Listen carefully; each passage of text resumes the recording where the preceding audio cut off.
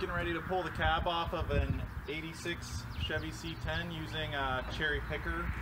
And what I'm gonna do is I'm gonna span a beam across here and pull it off. And hopefully everything works well, but the one thing you just gotta make sure you do is pull anything that's connected to the frame slash motor. Um, so that connects it to the cab. So you gotta pull your master cylinder. There's a big electrical plug.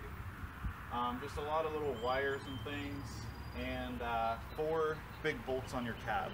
So once you got everything disconnected, um, you're ready to go ahead and lift this thing off.